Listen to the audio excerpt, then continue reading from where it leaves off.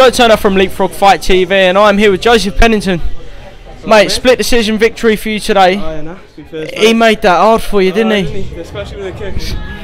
You both, you, you both went for each other. Rounds one to three, you both went for it. How did it go in your head?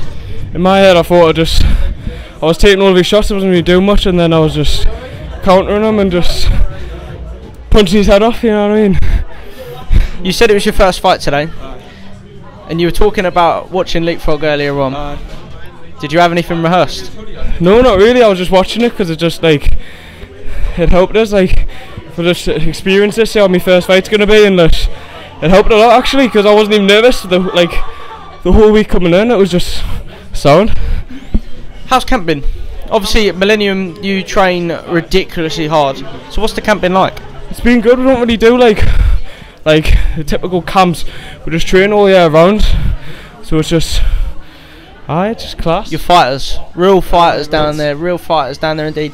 Your first fight's out of the way, you've come away with a split decision victory today. Oh, Did you enjoy it? I fucking loved it. So, what's next then, mate? What's next? Whoever wants it, you know what I mean. But anyone, I, I just want to get back in there straight away. There we go. Whoever wants it, they can get the smoke.